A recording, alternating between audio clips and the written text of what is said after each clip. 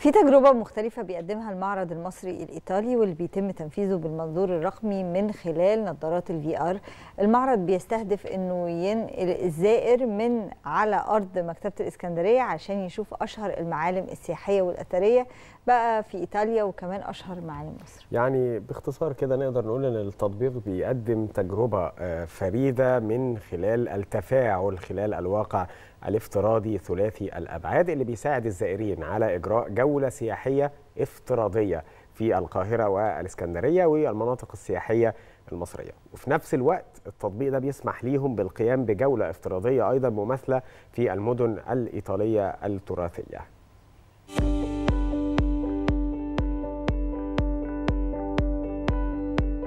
جولات بصرية ينظمها متحف الآثار بمكتبة الإسكندرية من خلال معرض رقمي يركز على التراث الثقافي المصري والإيطالي، حيث يشمل المعرض تطبيقاً تفاعلياً في الواقع الافتراضي ثلاثي الأبعاد حول التراث المشترك بين البلدين، يستمتع من خلاله الزائرون بمدينة القاهرة ومناطقها السياحية، كما يستمتع بجولة افتراضية مماثلة في المدن الإيطالية، بالإضافة إلى مشاهدة مجموعة فريدة من الصور للقاهرة وروما وفلورنسا. والبندقية وغيرها من المدن الأثرية والتراثية.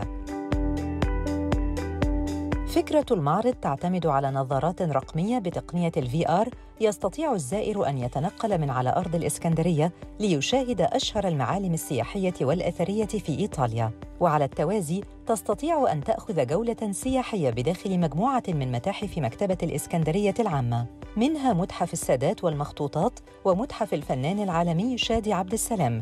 كما يستطيع بواسطة هذه التقنية القيام بجولة افتراضية للاستمتاع بأجواء نهر النيل والتجول حول الأهرامات بواسطة الجمل. يساهم المعرض في مساعدة المواطنين على استكشاف تاريخ المدن والتعرف عليه بواسطة التقدم التقني، كما أنه يستهدف تحسين صورة مصر حول العالم مما يساهم في دعم السياحة وفرص العمل في هذا القطاع.